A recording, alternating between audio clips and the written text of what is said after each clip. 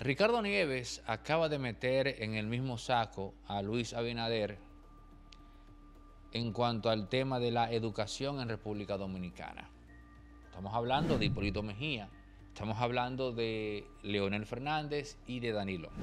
Ahora, es justo que por primera vez en nuestro país se diga la verdad sobre el tema educativo. Porque todos esos presidentes tienen una misma creencia en torno a la educación en República Dominicana. Y hasta cierto punto tienen algo de razón, hasta cierto punto.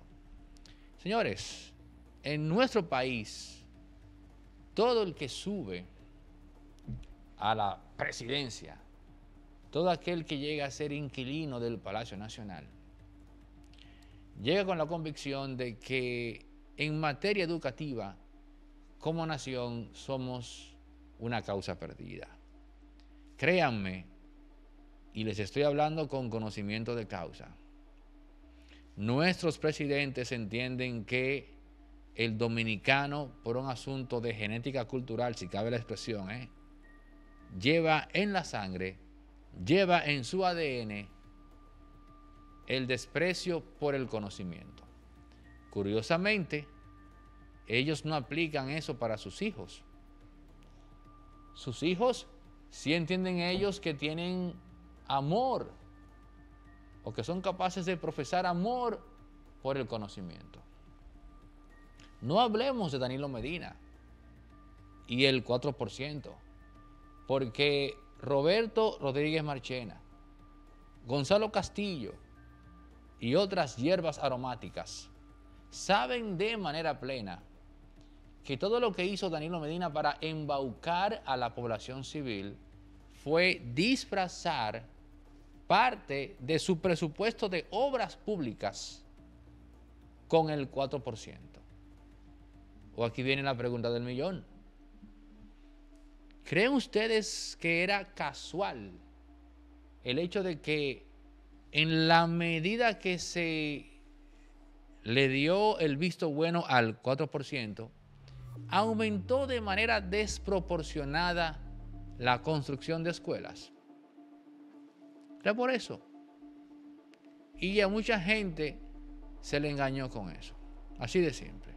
Ahora, Danilo Medina, Hipólito Mejía, el propio Leonel, quizás este último, desde un punto de vista más crítico, en términos epistémicos, pero todos tienen la presunción de que el dominicano no está formado para adquirir conocimiento. De que nosotros rechazamos el conocimiento. Pero aquí hay una gran, yo diría, confabulación. Porque, por ejemplo, nuestros medios de comunicación no es que aporten mucho para cambiar eso. Gran parte del tinglado empresarial de República Dominicana no es que haga gran cosa, si es que hacen para cambiar eso. Nuestros mandatarios están fielmente convencidos de que es una causa perdida invertir dinero en la educación del dominicano. Por eso cité el caso de Danilo Medina. Porque sé que al momento de decir esto, usted me dirá, pero Danilo Medina aprobó el 4%. Y yo le digo, no. Danilo eh, traspasó parte del presupuesto de obras públicas a educación. Esa fue la jugada, la jugada maestra, para que usted no cogiera la seña. Pero él también está inscrito en esa misma línea. Luis Abinader no es la excepción en ese sentido. Cada vez que un mandatario ve o un, o un expresidente ve un teteo en una escuela, ve a estudiantes bailando de dembow un día y a hora de clase, en vez de indignarse, como haríamos usted y yo, lo que hace es sentir satisfacción porque ve su tesis confirmada. o reafirmada más bien, míralo ahí. ¿Qué hace uno como presidente? Invirtiendo dinero en educación. Ah, pero eso es con los estudiantes. Porque el otro 50% le va a los profesores. Por igual, nuestros presidentes no respetan la figura del profesor. Ven al profesor como un parásito mantenido por el Estado. Y cuando usted tiene presidentes que entienden que los estudiantes no quieren adquirir conocimiento y que los profesores son parásitos, pues caramba, mucho hemos avanzado a pesar de eso. Usted tiene que codearse en los círculos de poder para percatarse de qué tan cierto es esto que acabo de compartir con ustedes. Nuestros presidentes están convencidos de que a nuestros jóvenes no les interesa estudiar. Y cuando ven esos videos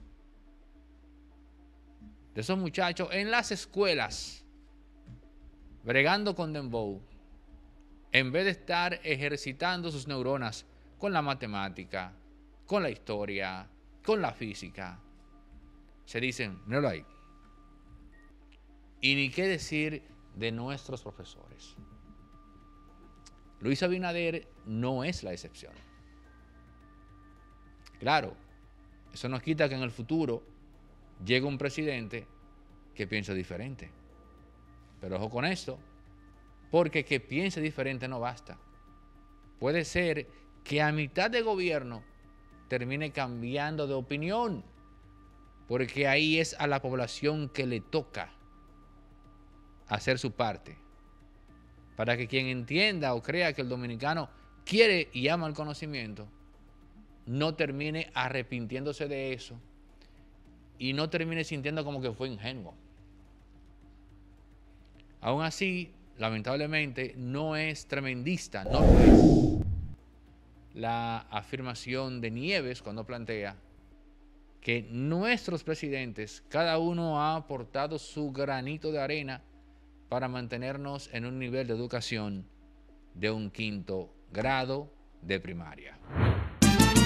Los sábados ahora son de Lotedón. Sí, todos los sábados hay un millón. Hay una carabía en la población con el millón del sábado de la Lotedón. El Agarra 4 te trae de los sábados. Y es que por cada jugada que realices de domingo a sábado, generas un código automático para participar en el sorteo de un millón gratis cada semana. Haz sus jugadas de la Garra 4, porque a partir de este 29 de julio participas por el millón. Y guarda tus tickets, porque cualquier sábado del año, Lotedón te regala. Para tu bolsillo un millón. Yeah, de Lotedón. Consulte las bases de la promoción. Les tengo una muy buena noticia de Farmacia Medicar GBC. Ya tienen su app. Vayan a Google Play y a, la, tienda de, de, Android y también a la de Apple y descarguen desde ya la aplicación de Farmacia Medicar GBC. Ahí podrán seguir disfrutando a partir de compras de 300 pesos del 20% de descuento en todos sus medicamentos. La Farmacia Medicar GBC llega a tu celular, descarga la app y pide tus medicamentos a través de ella. Farmacia Medicar GBC, la de nosotros los dominicanos. Sí, o sea, efectivamente. Mira, pero en bruto, Cuba, bruto Cuba, cualquier Cuba- nación es bruto. Cuba, no sé, pero, pero fíjate esto, que, que Cuba sí tiene un sistema educativo muy, muy importante. O sea, los médicos, músicos, ingenieros, o sea, en Cuba tienen un sistema educativo muy eficiente, muy bueno y se ha demostrado a través de los tiempos y todos los profesionales que están fuera de Cuba haciendo sus cosas ahí, eso, es verdad. Entonces, tú cubana, que tengas eh, esa carencia en el lenguaje, esa carencia de intelecto, sabiendo que en tu país, Cuba, tienen un buen nivel educativo, es una vergüenza para ti como cubana, primero. Segundo, eh, me parece que no sabes lo que es ser analfabeta. Eso se cataloga bien fácil, que la gente que no sabe leer y escribir Solamente no sabe leer y escribir se cataloga como analfabetas, el no saber leer y escribir. Hay muchas personas que aunque no saben leer y escribir, tienen un criterio, tienen una situación en su cabeza que hasta le quita lo analfabeto porque no saben leer y escribir solamente eso, pero hablan bien, saben cosas y no puedes decirlos eh, eh, que son analfabetas. También desconoce que en cada país, en cada región, hay una cosa que se llama lenguaje coloquial. Y si algo tiene la República Dominicana, si algo tienen los dominicanos, es que todos los días están inventando palabras nuevas, frases nuevas, tienen una creatividad, y te lo digo yo como extranjero, que tengo 20 años aquí, que todos los días hay una palabra en el bar, en lo coloquial, en el lenguaje popular que tienen todos los países. Eso no quiere decir que seas analfabeta, eso no quiere decir que tú seas un inculto. Es que es parte de la misma sociedad, del lenguaje coloquial. En mismo Perú, en México, en Argentina, en todos los países existe ese lenguaje. Pero yo no conozco ningún pueblo de América Latina que tenga más creatividad para inventarse palabras todos los días en este país. Todos los días hay una palabra nueva, pero insisto, no es que sea porque sean analfabetas, es que simplemente hay una creatividad para el lenguaje y que ni siquiera es, digamos, eh, eh, vulgar o que no es ni siquiera que estés de, de, decriminando a alguien, simplemente que es para referirse a algo, cortan palabras o se inventan cosas como eso, como peluche. O sea, Sí, tú estás que- peluche. ¿Qué, no- qué es un peluche? Un peluchito. Pues tú tienes, en- un entonces, peluchito. entonces tú tienes claro la vainilla. Claro, la vain- eh, no, está todo. O sea, en lugar de decir está todo bien, está todo. Pero, o sea, eso es lo que deben de entender, que en todos los países existe eso y eso no habla de que haya una carencia de educación. Si bien es cierto que todos los países de América Latina sufrimos de una mala educación, eso es verdad. Eso es verdad. En toda América Latina la, el- la educación pública es nefasta. Toda, es Sí, sí, muy pero difícil. no pero espérame, pero Tú estás- tú estás lo que te quiero sí, pero lo que, lo quiero decir es- lo que quiero decirles es eso, que finalmente no necesitas tener, digamos, esa eh, cultura tan grande como para entender que en cada pueblo, que en cada país se utiliza un lenguaje coloquial y eso no te hace eh, analfabeta. No, no, ella, ella dijo analfabeta, en serio con C. O sea, ¿cuál es que no sabe escribir? O sea, ¿cuál es que no sabe ni hablar tampoco? Y, O sea, le, y le enfrenta a los foques con... Sí, no, cuando tú vas, por ejemplo, y haces un análisis exactamente del término que ella quiso utilizar, que no utilizó, porque ella dijo analfabeto. Ella no dijo ni siquiera analfabeto. Y luego escribe en serio con C, entonces tú te caes en la deducción que ella estaba, cuando ella estaba diciendo eso, se estaba viendo al espejo. Porque demostró Que no sabe escribir. Si no sabe escribir, que es quien no sabe analfabeto. escribir ni hablar es ella. Entonces ella acusa al dominicano de eso que ella no sabe por el simple hecho de que ella no conoce eh, un término, una jerga que se utiliza en, en dominicana. Entonces su ignorancia la llevó a acusar a otro de analfabeto. Y que es ignorante, es analfabeta y acusa al otro de, de analfabeta porque ella no lo entiende.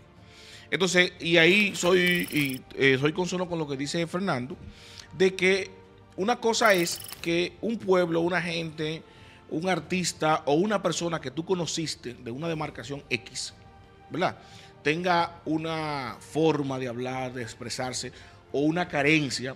Y otra cosa muy distinta es que tú generalices, porque un adagio popular dice que el que generaliza yerra, comete un error. ¿Por qué? Porque no todos somos iguales. Tú no puedes venir porque ella vino a Dominicana la última vez, dice ella, y conoció cuatro o cinco gente que le enamoraron. Eso ella deduce que esas cinco gentes somos el, el promedio de la República Dominicana. No, una estupidez. Es una estupidez y ella cometió ese error por eso se la han comido en las redes. Quizá a propósito, en medio de la entrevista, porque ella se me dio una, un parecido a Mami Jordan.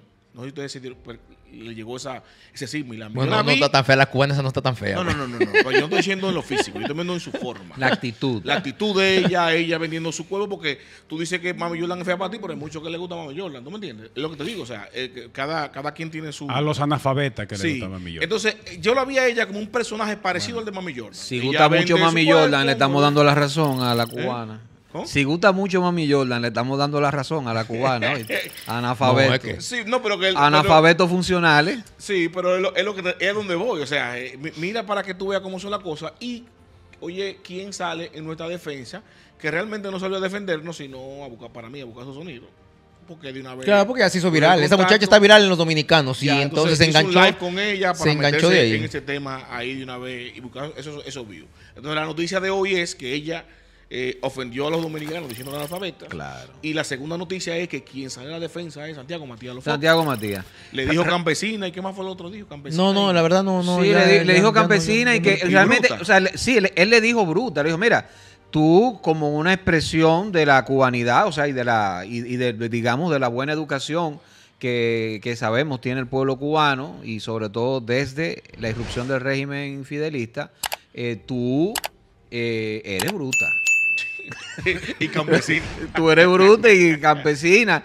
Y cuidado, porque un campesino cubano, un campesino y- y a mí cubano, no- un campesino cubano también yo- ha mejorado pero- mucho su y a mí no educación. Claro, dijeron. Yo claro. simplemente vi el cortecito donde ella dice que somos analfabetas o analfabetas y me di cuenta que no sabe hablar. Por lo que ella quiera, no sabe hablar. Y desde que entro a su perfil, el primer video que hablo, que, que abro de ella, me doy cuenta que no sabe escribir. Con unas chapas intelectuales. el Entonces, yo no sé cuál es el fun, eh, eh, o sea, cuál No, es pero además, además, pero tú sabes perfectamente que es, No, esa muchacha, ella- esa muchacha tiene un cerebro de ese tamaño. Primero porque dice eso, ¿verdad? Pero también dice, a mí no me gusta cómo hablan los dominicanos, hablan muy mal. O sea, que en, en cada país no hablan mal. O sea, ¿cómo, cómo explico esto? O sea, eh, cada país tiene una forma de hablar, tiene un acento de hablar y tiene sus propias palabras y tiene su propio Bueno, lenguaje coloquial. a ella no le gusta no- la no musicalidad quiere- con que no habla el dominicano, decir, ya no le gusta. Pero exacto, pero eso no, quiere decir, no quiere decir que hablen mal, güey. Ustedes no hablan mal. Ah, que los dominicanos dicen, eh, o los del sur hablan mucho con la R, y los del Cibao dicen amoy. Y entonces, entre ustedes mismos, se echan vaina ustedes, porque ellos hablan así, los- pero no es que esté mal. eso es que eso este- es- es, eso es una- normal. Eso es hasta tradición y cultural. Un, un catalán, ¿tú qué? Pero ¿tú crees espérame. un catalán quiere saber de un Pero madridista? tú entiendes lo que yo digo, que no, no es que hablen mal, no, es que así es la cultura del dominicano, así es y eso no está mal, no está mal. Si tú no tienes capacidad para aceptar que los colombianos hablan de una forma, los mexicanos de otra, los argentinos de otra, estás bien jodido. No puedes hacer un juicio de valor acerca de un dominicano porque, porque hablen mal. Tú puedes decir, bueno, a mí no me gusta el acento argentino. Bueno, eso es tu gusto, ya es muy respetable, pero no puedes decir, el argentino habla malo y es analfabeta. Eso es mentira. No es así. Entonces, en la medida que tú no tengas capacidad para eso, vas a ser un, un cerebro de este tamaño, güey. Y lo que único que es es una nalga moviéndose ahí. Pero por TikTok. otro lado, por otro lado, hay unos exagerados que dicen que ella ofendió a los dominicanos. Señores, ofende el que puede. Y francamente ella no puede ofender a nadie. Eso es- no hay nada más que averiguar. La falta de, de conocimiento de la cultura de, de- de la isla vecina, porque si ella es de Cuba, ella debería conocer esta zona, de cómo funciona. Yo tengo un amigo que él es cubano y él me dice en una ocasión que él sabe cuando son dominicanos lo que están hablando porque los dominicanos cotan la palabra. Yo le dije, ¿en serio? Nosotros cotamos la palabra. Y me dice, míralo, mira cómo lo hiciste ahí. Co- Cooptamos, lo que pasa es que ellos tienen también su tema. Es un cubano, te dijo eso. Un cubano que cotamos Claro, la palabra. Yo, yo tenía. caballero. No, no, pero ellos ¿Qué? tienen su tema pa- para pronunciación. Yo tenía un cubano que era mi jefe y me decía, I'm doing. Sí, ¿Entiendes? pero es lo que digo. Tienen eso te- es su forma. Parte de las culturas, de la Ahora bien, ahora bien, yo creo, bueno, finalmente, yo pienso que ella se portó como un dominicano analfabeta. Ya, eso fue lo que ella hizo, comportarse como un dominicano analfabeta. no como un analfabeta. ella habló, No ella habló, dominicano. ella habló, ella le habló a su clase. Porque hay muchos dominicanos analfabetas. Sí, Como pero un ustedes chico- que sa- como pero en el fondo ustedes que saben se lo que estaba significa graduando, analfabeta. Como un chico que se estaba graduando con su traje rosadito, con una gradué, pinta del diablo en La Vega. ¿verdad? Y Aina decía, me gradué, me gradué. Soy por fin bachiller. Y, la, V, y la construcción Con V, compleja. J y L. Con V. J y L. Ajá, J y L. ¿Sabe Yo lo dije, difícil que es pero pronunciar es eso? más difícil escribir eso No, para mí fue a que bachiller normal. Para mí fue a propósito. Yo no lo puedo creer. Yo ¿Es a me resisto a creerlo. No, para mí es a propósito, porque ni tú, o sea, no puede ser que tú seas tan, tan torpe que lo escriba tan mal. O sea, aunque sea una Bachiller. querer, debió es capaz de quedar Sí, bien, aunque sea la que- B o la doble L. Pero- ¿En o la serio? R al final. ¿En una- serio? Se le escapaba y uno no, la ponía bien. No, no subestime nuestra capacidad analfabetítica. Señores, esto es la quinta pata. Mario Herrera, el señor Delio Medina, Fernando González, Edwin Cruz. Recuerden suscribirse, darle like, activar campanita, comentar y todo eso. you